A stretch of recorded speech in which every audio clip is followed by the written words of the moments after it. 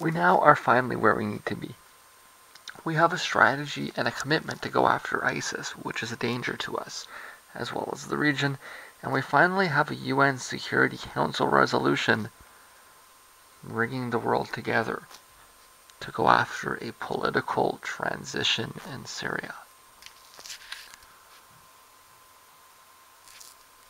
Regime change.